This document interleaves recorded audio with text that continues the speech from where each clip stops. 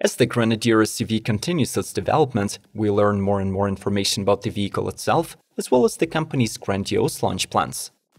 Already pre-ordered by 75,000 customers, in 2022 the 4x4 will start its rollout across the brand's European and Middle Eastern partner dealerships. And the next year, it will arrive to the American shores. As previously expected, the production-ready Grenadier will be built in cooperation with the Austrian Magna Steyr, and its looks will be inspired by the previous generation of the Defender. It sits on a box-section ladder frame with heavy-duty Carraro beam axles and gets a ZF-developed suspension. The two engine choices are the BMW-sourced 3-liter inline-six turbos running on gasoline and diesel. The former is rated for 285 HP and 332 pound-feet, and the latter is good for 250 HP and 406 pound-feet. Both mills are paired with an 8-speed automatic gearbox, there is a 2-speed transfer case, and permanent 4-wheel drive. The interior is just as rugged as the exterior. You get water-resistant anti-stain Recaro seats, drain plugs in the rubber flooring, and auxiliary switches for plugging in and extra lights and winches. There is a modern 12.3-inch infotainment with Android, Apple, and navigation.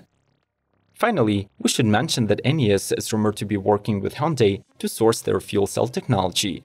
So very likely that in the future we'll see a hydrogen-powered version of the Grenadier.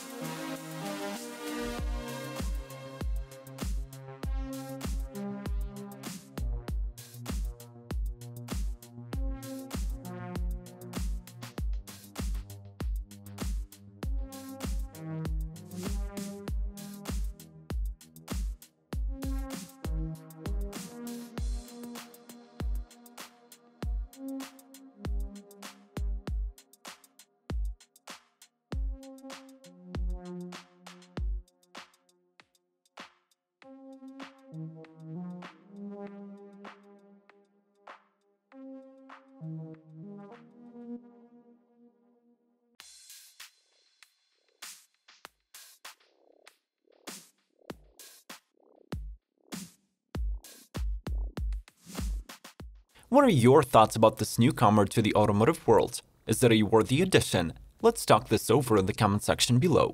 Subscribe to Automotive Territory Daily News, like this video, and watch more through the links on the screen.